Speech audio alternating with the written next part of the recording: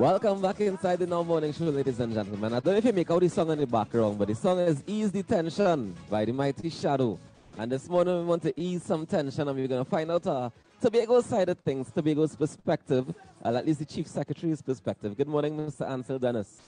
Good morning to you, sir, and good morning to, of course, citizens of Trinidad and Tobago who's uh, taking in this goes across the globe as well because I, I, expect that we are live on social media platforms. Yes, we are definitely oh, live on Facebook as well. So good morning to everybody who's locked on on Facebook as well. Now we're talking Tobago autonomy bills this morning. Um, have you been paying attention to what's going on in the parliament, sir? Of course, I, I was actually in the parliament in the flesh on mm-hmm. Monday from about 10 a.m. and then Tuesday from about 12 noon and therefore I was able to observe carefully what took place in the parliament. And in some cases, it was quite unfortunate, not only to the people of Tobago, but to the people of this country. Why you say it's unfortunate? What's unfortunate? Well, we first must understand the, the history of Tobago's autonomy. And I will not go too far back, but I will simply start from the year 2013 was the year that I was first elected as an assemblyman uh, in the Tobago House of Assembly at the age of 26. So I am acutely aware of what transpired from that period to now. Mm-hmm. And of course, it was Hochoy Charles who went to the then Chief Secretary Orville London. And he said to Mr. London, look, now is a good time for us to unite as political parties in Tobago and use this united approach to ensure that we get to Tobago's autonomy. As a matter of fact, he said jokingly, let's get together and, and fight together for what Tobago wants. And then when we get what we want, we could fight each other to see who will manage it. and yeah. of course, in that period, there were consultations, approximately 40 meetings across communities in Tobago and also in Trinidad um, there were a number of conventions as well, attended by hundreds of Tobagonians, and therefore a lot of consultations went into these efforts. And, mm-hmm. and it culminated in 2016 when the Tobago House of Assembly, just before the, the 2017 THA election, debated and approved those bills. And of course, from there it went to the cabinet led by the uh, People's National Movement, Tobago-born Prime Minister Dr. the Honorable Keith Christopher Rowley, and from there, the process with the Joint Select Committee started in March of 2018. And there I was in the parliament hearing opposition members of parliament making the foolish and bogus argument that there were not sufficient consultations, right?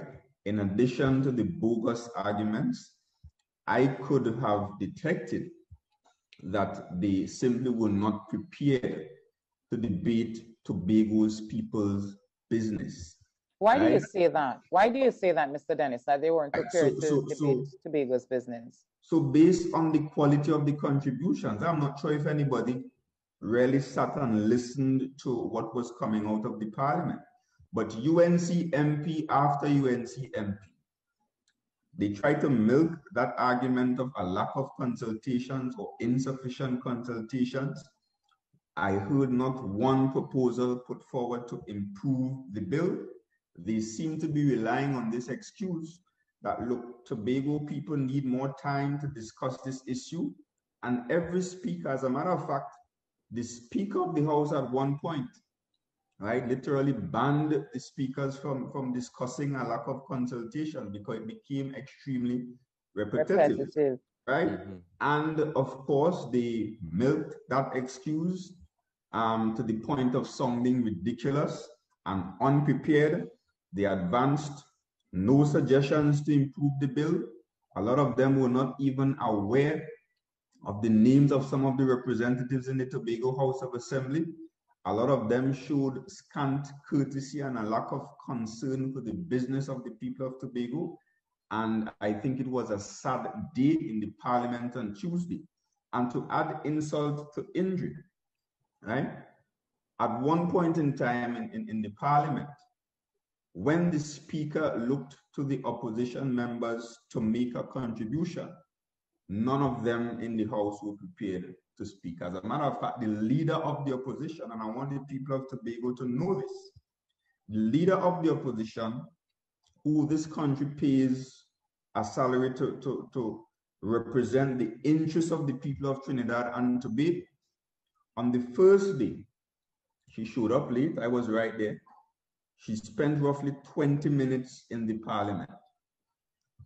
On Tuesday, I got there around lunchtime.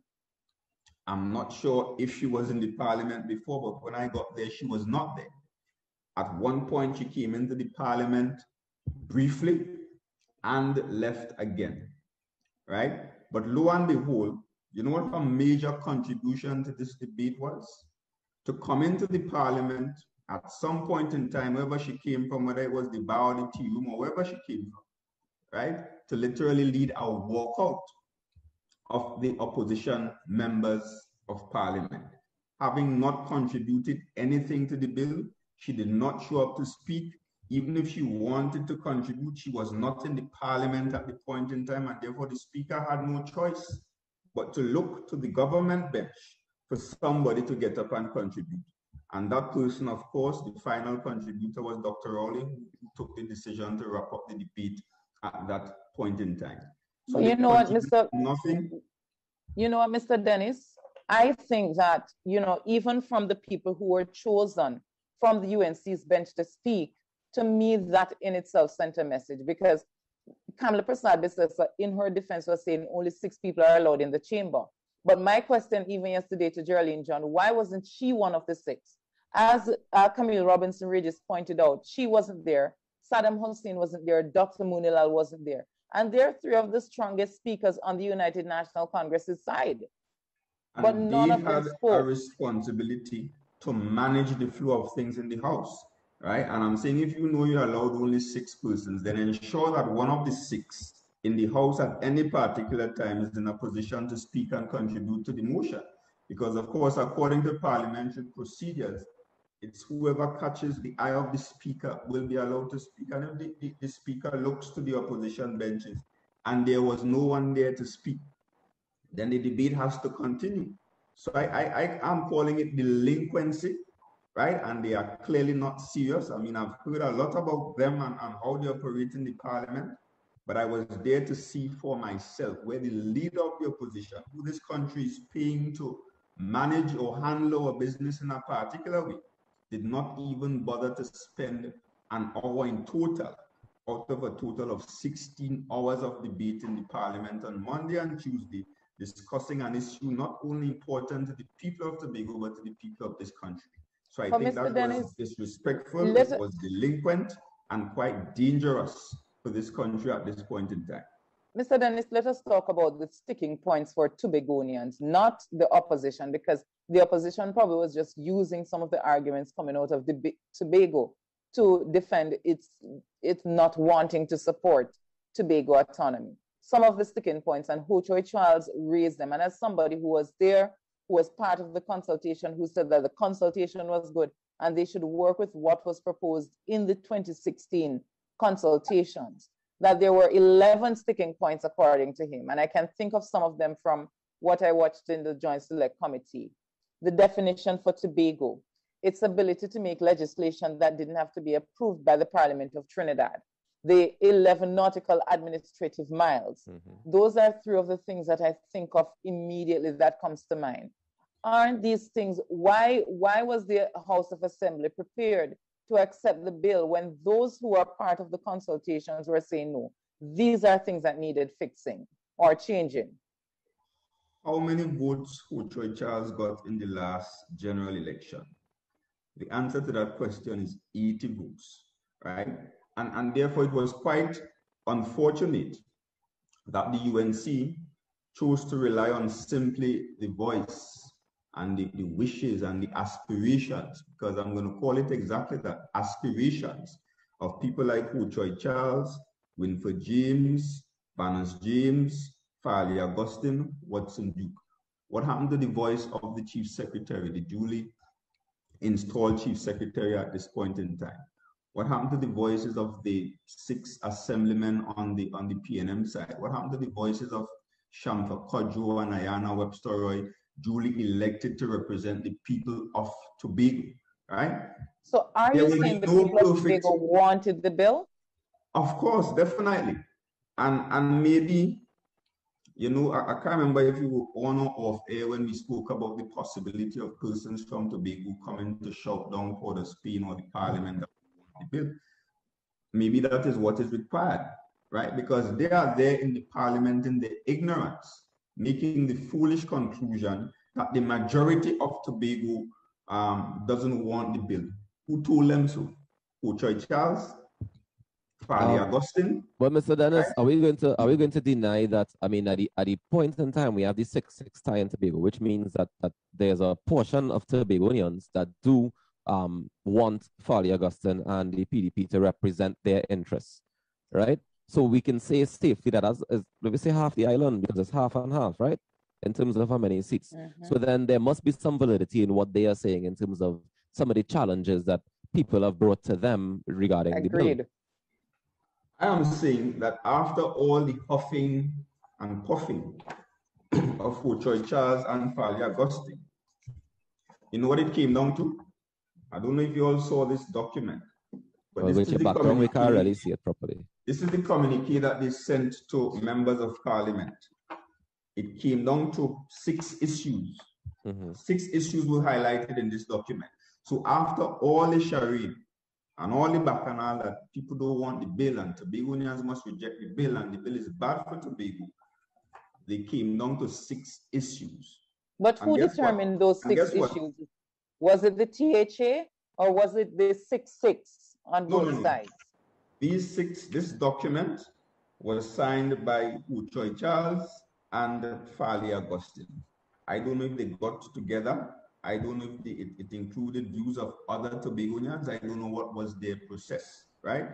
They were on Channel 5, I think it was the Sunday um, at 2 p.m., Sunday before the, the parliamentary debate and they had a feeling misleading Tobagonians, misrepresenting the facts, blatantly lying on, on, on some occasions. I heard Farley Augustine say that the, the bill that the UNC bought in 2013, right, proposed 8%, right, for the Tobago House of Assembly. I'm not sure which bill he read, but when I read that UNC bill that came in 2013, that bill that lapsed in the parliament, and I want to read it, right? It says in section 10 of that bill, the amount appropriated for the purpose, the purposes of the Tobago House of Assembly in respect of any financial year shall be a minimum of 6.9% in the range of 6.9% to 8% of the total sum appropriated by Parliament. But there he, he was there saying that the Kamla bill proposed 8% as a minimum, and therefore it's better than what the PNM government is proposing at this point in time. When in fact, according to the bill that was debated in the parliament, the minimum was 6.8%, and there was no maximum. So it could have been the maximum at any point in time could have been 8%, it could have been 9%, 12%, 13%, whatever can be determined by the, the, the Fiscal Review Commission once a strong case can be made. So it was quite unfortunate, and I'm going to speak more about that in a press conference this afternoon at 2 p.m. It was quite unfortunate that at this late stage, for, for reasons unknown to me, as a matter of fact, I know some of the reasons they decided to derail this process. Now, I am but not saying that the they want secession. Do you think that it comes down to them wanting to secession? Because oh. based on the sticking points that I heard, even when it comes down to the legislature, the reality is that unless you're in a unitary state, the Parliament of Trinidad and Tobago must have oversight. And if they're saying no to that, is it that you think they want secession? Secession is the policy position of the Progressive Democratic Patriots, right? Watson Duke is on record calling for secession. Right? A PDP assemblyman is also on public record calling for secession. Secession has been the language, the things that they are seeking to, to, to bring to the table. are in fact secessionist and separatist views. Even when we talk about this issue of Tobago having its own exclusive economic zone and, and maritime boundary, right? That is in fact secessionist in nature. And of course, comparisons are being made to Scotland. But Scotland is a country by itself. Scotland is a constituent country as, as, as, part of the United Kingdom. Scotland has its own flag, its own national anthem, and therefore they have their own exclusive economic zone on the basis that they are a separate country. We in Tobago are not asking for Tobago to be a separate country, whether independent of this union or as a constituent country. We are simply asking that in the bigger scheme of the unitary state of Trinidad and Tobago, the Republic of Trinidad and Tobago, for the people of Tobago to have more control over our internal affairs, right? And, and, and therefore, Tobago is not asking for secession.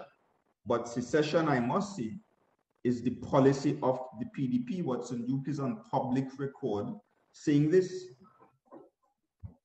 All right. Yeah, I definitely agree with you there. I heard him say that, you know, you don't know what I'm saying. We want everything. And what we want is secession. And I can't remember the assemblyman who said it and then said, whoever told you that the people of Tobago wanted secession? Was, he changed this. Ian, it was Ian Pollard. The, yeah, the Mr. Pollard. He changed mm-hmm. his, yeah, he changed his mind very quickly. Providence may snow Moriah.